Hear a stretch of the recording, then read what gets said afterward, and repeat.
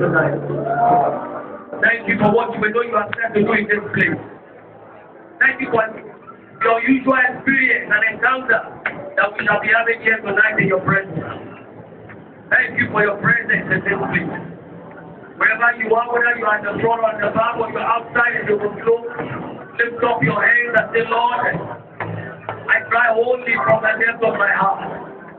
I sing the song, the angels and the 24 elders are singing to you worship you from the depth of my heart tonight. We cry, Holy Lord. We cry, Holy Lord. Thank you, Jesus. In Jesus' precious name we pray. Amen. Let somebody say amen.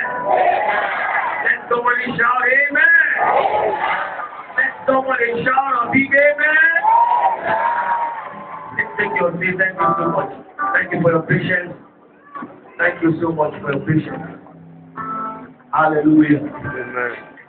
Praise the Lord. Hallelujah. Amen. Amen. Amen. Praise God. Hallelujah. I'd like to thank you for your patience. Uh, we don't want to take too much of your time. We are sorry for extending it a little. Uh, if I tell you the member of this service, you not believe it. Uh, few months ago, we were already thinking about hosting a song somewhere. Yeah, we were working towards it. That early this eh? year, and this year, later, we discovered that it will not be, to be possible, it not be possible again we, we, we thought that would be possible.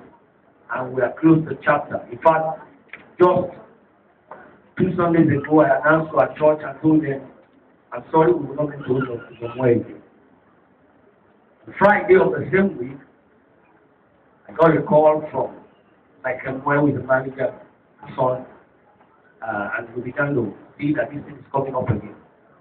And within five days, we put all this together, just within five days.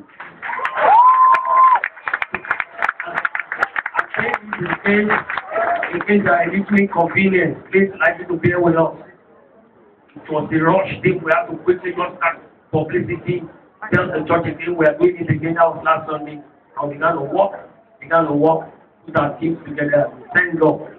If you don't want to here already. Praise the Lord. I'd like to welcome every one of us for coming to Wonders of Worship. I believe strongly that God is going to, you are going to experience God in an unusual way tonight. You will never be the same again. We thank all our pastor friends from, uh, for coming from far and near. We have several powerful men of God in this place.